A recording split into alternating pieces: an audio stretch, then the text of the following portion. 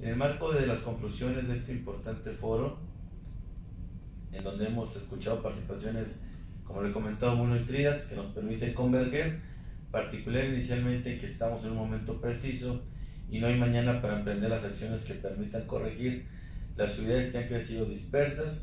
que han sido creadas únicamente para los automóviles, traduciéndose ello en el tráfico excesivo que cotidianamente padecemos. La pérdida de vida, la inseguridad pública, la contaminación, las inundaciones y particularmente la segregación de las personas más vulnerables. El realizar trabajos conjuntos para construir ciudades en donde todos podemos movernos de manera sostenible, con sistemas de movilidad sustentables, sostenibles, incluyentes y seguros. Lo anterior resulta en una clara armonía que nos invita a la reconciliación de la movilidad y de la sustentabilidad en beneficio de las personas. El futuro nos ha alcanzado y gracias a ello tenemos la enorme oportunidad y responsabilidad de asumir las formas de movilidad que además de interconectarnos permitan disminuir la huella de carbono. Por ello es de gran importancia lo que aquí se ha mencionado respecto a la movilidad eléctrica en donde el gobierno federal deberá asumir e impulsar acciones encaminadas a disminuir, entre otras cosas, la carga fiscal de la movilidad a base de energía eléctrica. Además se requiere el impulso decidido de distintas formas de micromovilidad,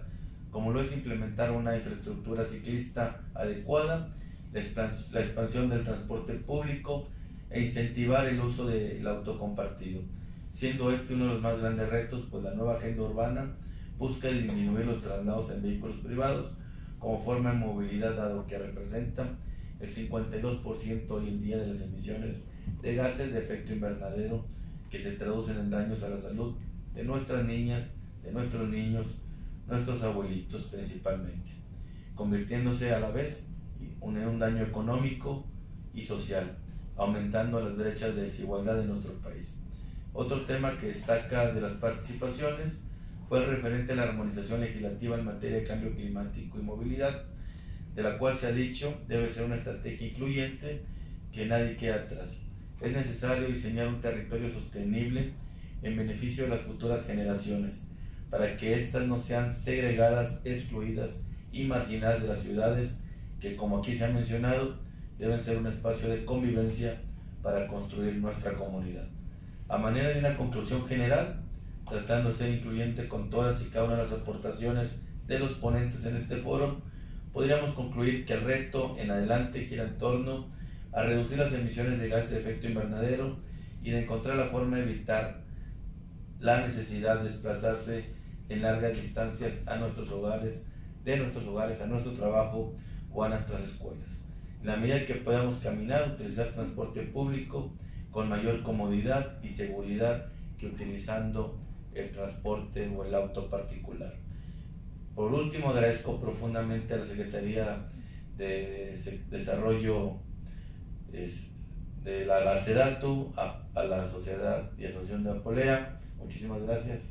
a la Embajada del Reino Unido y a los ponentes de cada uno de los tres paneles que con gran disposición y profesionalismo nos han acompañado con su visión de lo que sigue en materia de cambio climático, desarrollo urbano y movilidad.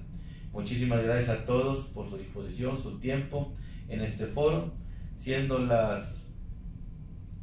3.50 o 15.50 horas de la tarde. Damos formalmente por concluido este foro Cambio Climático y Desarrollo Urbano, la movilidad sustentable y su relevancia para el cumplimiento de las contribuciones nacionalmente determinadas. Muchísimas gracias y muy buenas tardes a todos.